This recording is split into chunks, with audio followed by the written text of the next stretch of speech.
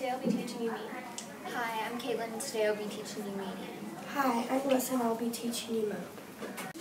So when you're doing mean, you just have a set of numbers, and what you'll do is you'll add them together.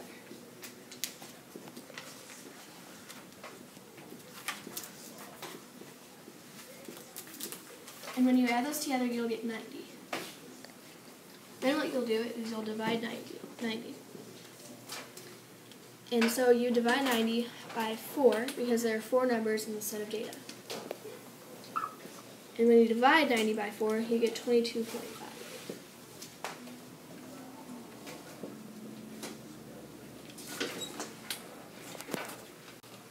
Okay, so for median, you have to put the numbers in numerical order. So 30, 35, 40, 45, and 50. Then you have to cross off the numbers. So 30, 50, 35, and 45. And your median will be 40.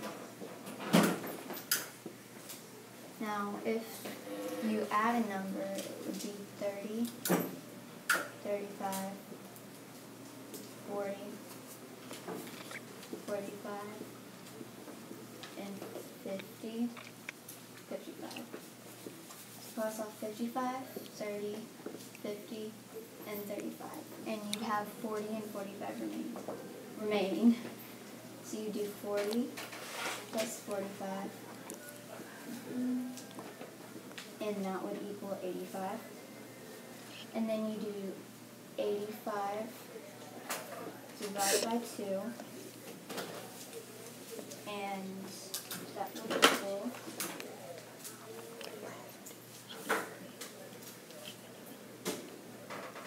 Forty-two point five. And that would be your mean.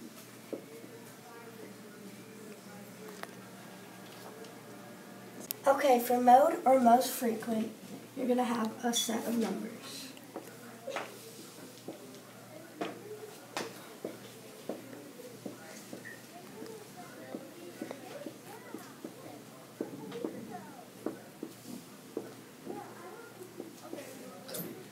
Okay.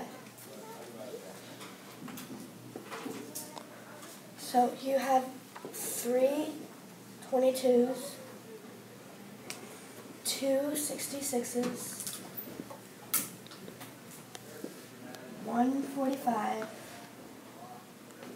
one 25, and 135. And three is the biggest number, so that would be what appears most frequently. Bye.